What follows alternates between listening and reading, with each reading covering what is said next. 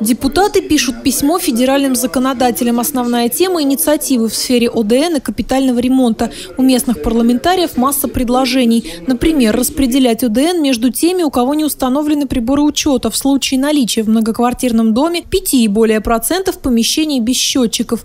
Нормативы потребления для таких уклонистов, по мнению депутатов, должны повышаться на 50% процентов ежеквартально.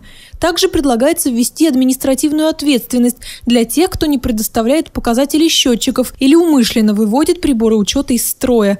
Интервал проверки приборов учета должен быть увеличен до раза в квартал. Сейчас счетчики проверяют не чаще, чем раз в полгода. Свое обращение к федеральным органам депутаты оформили как рекомендательное письмо, не решившись назвать документ законодательными инициативами. Мы предлагаем то, что мы видим. Там четкий проработанный комплекс мер, там более 10 предложений конкретных. И учитывая то, что вы, наверное, обратили внимание, что наши обращения и по газовым счетчикам тоже нашли свой отклик, по транспортным перевозкам тоже нашли свой отклик. Поэтому мы вот так вот стучимся на федеральный уровень, я думаю, нас там иногда услышат.